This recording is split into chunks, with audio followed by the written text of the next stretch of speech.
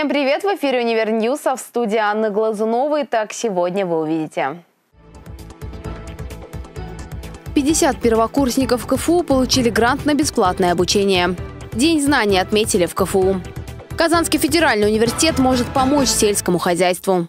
Студенты Высшей школы информационных технологий и интеллектуальных систем Казанского федерального университета получили гранты на бесплатное обучение. Счастливчиками стали 50 первокурсников. Все подробности расскажем в сюжете. Технопарке в сфере высоких технологий IT-парк состоялась торжественная церемония вручения грантов Министерства информатизации и связи Республики Татарстан. Их вручили студентам первого курса Высшей школы информационных технологий и интеллектуальных систем Казанского федерального университета. Отрадно видеть, что почти тысяча студентов учатся в Высшей школе информационных технологий и информационных систем. И в рамках э, той большой подготовки кадров, которые нужны сегодня, здесь и сейчас экономики, Министерство информации и связи еще дополнительно выделяет ежегодно 200 грантов по 50 грантов на каждый курс. Президент Республики Татарстан Рустам Андреевич Миниханов поставил задачу перед э, правительством, передо мной лично, чтобы отрасль информационной технологии вклад этой отрасли в валовый региональный продукт из года в год увеличивался. С приветственными словами к студентам обратился проректор по образовательной деятельности КФУ Дмитрий Таюрский. Мы стали студентами одного из лучших университетов России и одной из лучших высших школ Казанского федерального по итогам приемной кампании в 2019 году в Высшую школу ИТИС КФУ поступило 292 человека на первый курс бакалавриата. Среди них 80 на бюджет, 212 на платную основу с учетом грантовиков. Проходной балл ЕГЭ, который необходим для поступления в ИТИС, всегда высокий. В этом году он составил 268 баллов. Грантовики – это студенты, которым не хватило совсем немного баллов для бюджета, например, всего два или три. Двух. У меня 266 баллов. Я так думал все-таки, что боялся, что не смогу, все лето нервничал, все-таки смог. Я рад этому. Ну да, в первую очередь я расстроился, но потом я подумал, что есть же грант, и я не нашел в нем каких-либо минусов. На самом деле это прекрасная возможность для людей, которые не поступили на бюджет, но хотят обучаться бесплатно. Студенты-первокурсники объяснили, почему выбрали IT-направление КФУ для поступления. Потому что, во-первых, это один из передовых вузов страны, а IT-направление выбрал, потому что просто я на протяжении всей жизни любил выстраивать алгоритмы. Только эта профессия, мне кажется, будет ну, среди главных профессий, потому что ну, все автоматизируется. Все-таки IT вроде лучше всех в Татарстане, как я понимаю.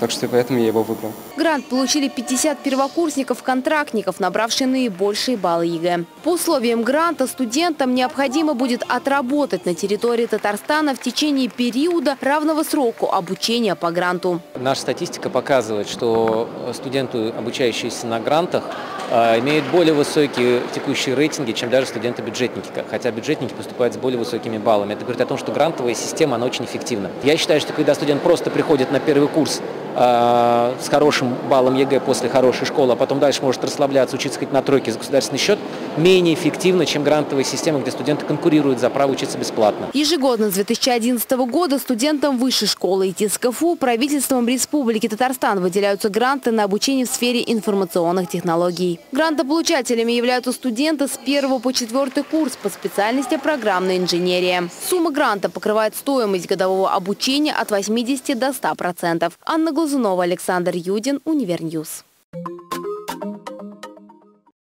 Впервые за долгие годы в стенах университетской клиники Казанского федерального университета набрали несколько ординаторских групп. Подробности в сюжете. Впервые за долгие годы в стенах университетской клиники Казанского федерального университета набрали ординаторские группы. Всего в этом году поступило 72 ординатора по 23 специальностям. Ординатуру Казанского федерального университета выбрал я в связи с тем, что это моя альма-матер. Я являюсь первым выпуском а, медиков Казанского федерального университета, и в течение а, со своего студенчества я познакомился с научной деятельностью, с практической деятельностью, и в стенах нашего а, университета было открыто направление онкологии. Ординаторам показали одно из зданий университетской клиники. Это основной сердечно-сосудистый корпус, где находится отделение кардиологии, сосудистый центр и кардиохирургия. После этого в Институте фундаментальной медицины и биологии Казанского федерального университета прошло торжественное вручение ординаторских удостоверений. Прежде всего, это возможность познакомиться с теми богатейшими традициями, которые имеет университетская клиника, и, соответственно, это возможность э, пройти обучение ну, без ложной скромности можно сказать, на одном из лучших оборудований, которые на сегодняшний день существуют в Республике Татарстан и, в принципе, в Российской Федерации. Вся ординатура будет проходить на базе Казанского федерального университета. Ординаторам будет представлено большое количество отделений и наработок от преподавателей университета. Также они будут участвовать в научных конкурсах и конференциях. Эльвира Зорина, Виолетта Басова, Univer News. Культурно-спортивном комплексе «Уникс» прошел День знаний Института социально-философских наук и массовых коммуникаций Казанского федерального университета. О том, как это было, смотрите далее. В Большом зале культурно-спортивного комплекса «Уникс» прошла традиционная торжественная встреча администрации Института социально-философских наук и массовых коммуникаций со студентами первого курса. Мероприятие получило название «День знаний ИСФНиМК». С приветственным словом к новоиспеченным студентам обратился первый проректор КФУ Ясмин Зарипов. Желаю вам больших успехов, творческих успехов, чтобы у вас все получилось, ваши цели и планы, которые вы наметили, были достигнуты – на сцене перед первокурсниками выступила и дирекция «Снимк», с которой новоиспеченным студентам нужно будет найти общий язык и научиться взаимодействовать на протяжении всего обучения в Казанском университете. Приглашаю вас учиться в нашем славном институте. Желаю успехов на этом пути. И ИСФНиМК – это мощь. Поддержать первокурсников в этот день пришли и студенты старших курсов, за плечами которых годы, проведенные в Казанском университете. Студенчество запоминается всем. Это наиболее яркая пора в жизни. Поэтому, думаю, ИСФНиМК – это замечательная площадка, на которой каждый может реализовывать все свои интересы, возможности, таланты. Кульминацией торжественной части стало принятие студенческой клятвы первокурсниками. Лилия Талипова, Ленар Довлетьяров, UniverNews. Ученые КФУ реализуют проект по утилизации отходов производства животноводства с получением удобрений нового типа на основе перугля. Данные технологии могут помочь бизнесу избежать затрат и дадут шанс заработать на удобрениях. Подробности расскажем в следующем сюжете. Ученые КФУ реализуют проект по предотвращению деградации почв в условиях изменения климата. Разработка предполагает введение в почву пироугля, который повышает плодородие почв и уменьшает выделение парникового газа. При производстве, э, в животноводстве, в птицеводстве образуется огромное количество отходов. Эти отходы, которые мы всегда считали удобрением, теперь относятся к категории отходов, за образование и за хранение которых предприятие обязано платить государству. Исходя из того, что таких отходов накоплено огромное количество, платежи эти э, холдингами, фермерскими хозяйствами будут осуществляться огромные. Что нужно сделать, чтобы это избежать? Нужно эти отходы перерабатывать. Технология Казанского университета позволяет получать пиролиз из куриного помета. Эта установка а, собрана, соответственно, сотрудниками Федерального университета.